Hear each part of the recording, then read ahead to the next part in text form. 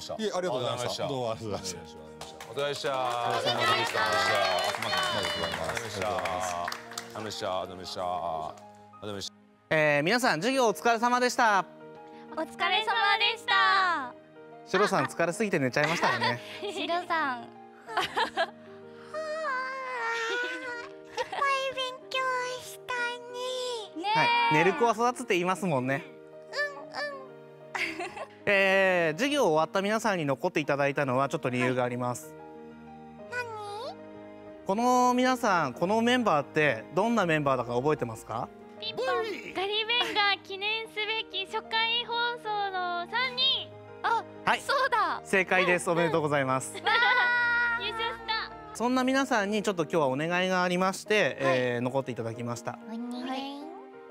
まあガリベンガー1回目に出ていただいた皆さんは誰よりもガリベンガー V のことを知ってますよね。もちろん。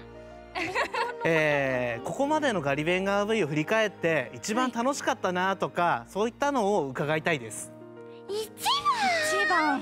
番オープニング映像がついた時になんかみんな？あの可愛く映してくれてなんかすごい戦隊ものみたいに壮観なあの背からね見た姿でああこんなにみんなに応援してもらって大きくなったんだよって思ってかなすごいなんかやっぱりオープニングとかねつくようなはい。地上波番教育番組にお邪魔するなんて1ミリも思ってなかったので、うんうんうんうんみんなあそこに出られて感慨深かったなと思いました。なるほど。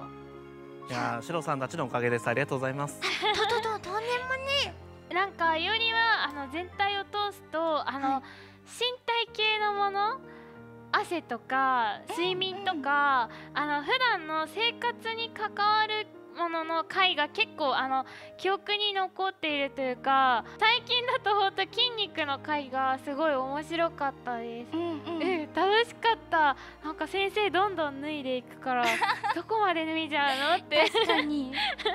思ったしあれがあの最近だからっていうのもあるけど印象に残ってます。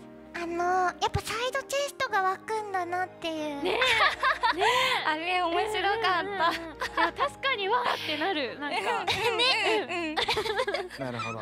そうなんか私一番あそうなんだって思ったのがなんか空がなんで青いのかっていうのにすごい感動して。そうその時母も一緒に見てたんですけど母もねあ面白いねってやっと言ってくれた回だったんですごい感動しましたあの回。イベントではモンスター扱いされてましたけどがね。先生すごいですからね